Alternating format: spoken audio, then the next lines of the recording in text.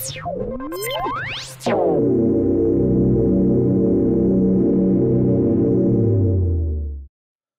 hey, good morning, everyone. It's uh, happy Monday here in the Bays home. Uh, man, what a great game last night, Pastor Jess. I'm so sorry. Your Chiefs just couldn't make it out, man. They didn't even really show up to play. Um, but, man, it is a great day to be a Tampa fan. So, this is the first time I've done one of these, so just bear with me. Uh, if you don't know me, if you're joining us in one of our engaged groups, uh, my name is Pastor Allen. I'm one of the I'm the assistant pastor and worship arts pastor at Broadcast, and I had the privilege to preach yesterday on the topic of rhythm of rest. And before we dive in this morning, uh, I just want to ask your group a question, maybe to get the conversation started. But what is something that you enjoy doing that gives you a sense of purpose? Uh, maybe that energizing thing that you like to do that puts your mind at ease, puts it at peace, maybe even gives you rest. Uh, so, why don't we talk about that as a group? And, leaders, you can hit pause here.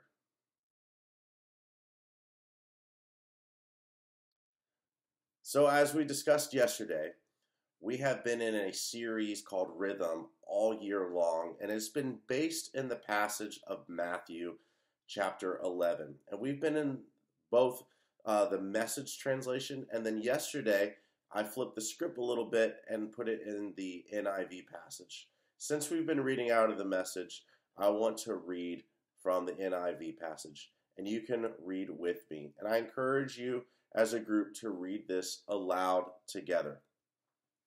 Is the NIV, and it says, Come to me, all who are weary and burdened and I will give you rest.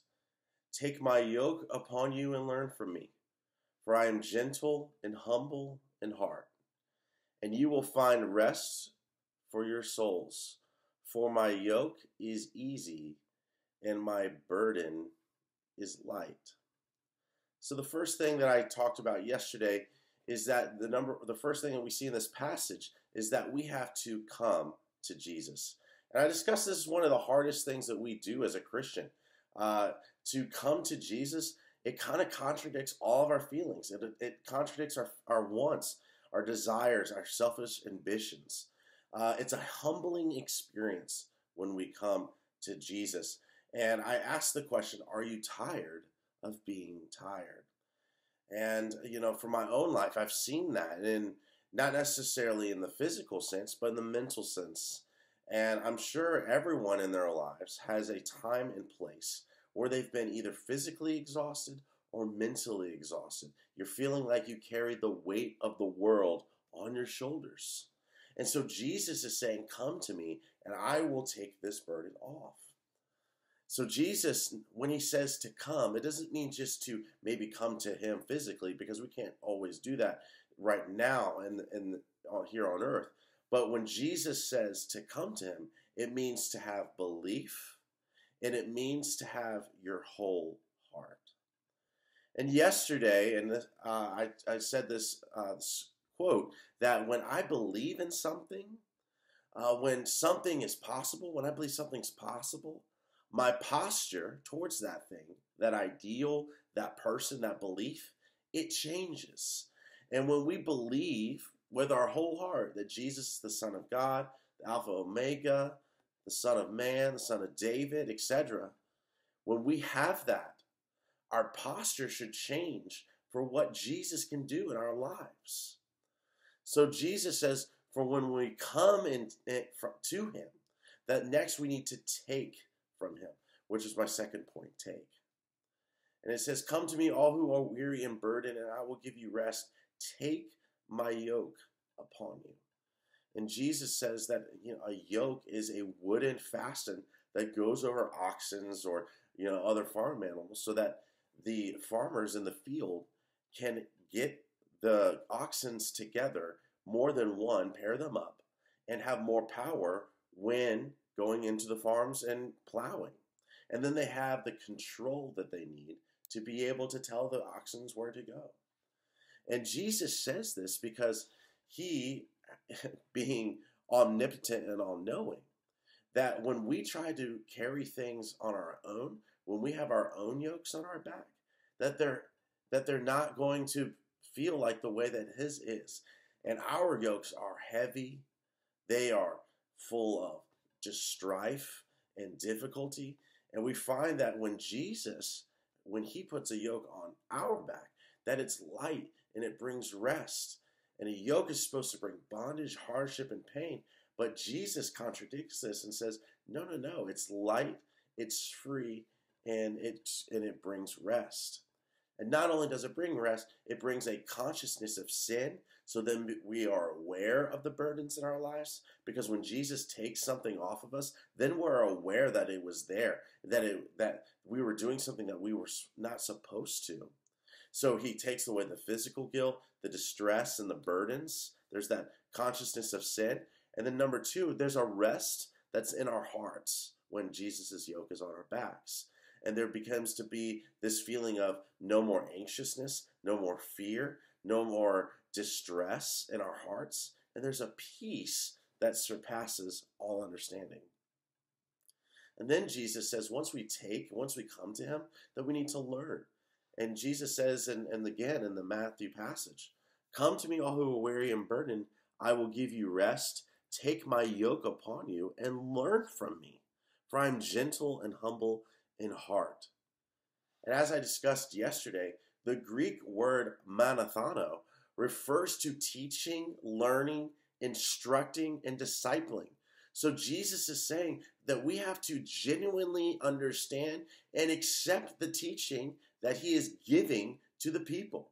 That we have to take it, not only uh, just hear it, but we have to apply it to one's life. And this is a lifelong commitment. And Jesus also, after he says to learn, he says that for I am gentle and humble in heart. And I gave the example yesterday. I don't come to you here on this video chat this morning and say, Hi, I'm Pastor Allen. Uh, please learn from me, for I am wise and I am gentle and I am humble in heart. No, no, no, that would be weird. But see, Jesus in his modern, in his, and his uh, context back then in the culture, doesn't make sense to us modernly. But back then, we, we found out as I was teaching yesterday that the culture was contradicting to being gentle and humble.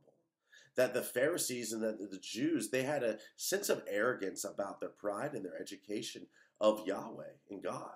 they they had this disposition that was an elitism culture. So Jesus is undermining these people and saying, no, no, no, the way of I is going to be different. I'm going to be gentle and I'm going to be humble about who I am, who I say that I am.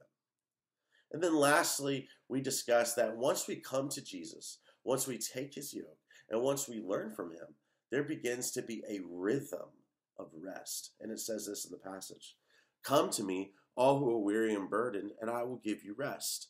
Take my yoke upon you and learn from me, for I am gentle and humble in heart, and then you will find rest for your souls. For my yoke is easy and my burden is light.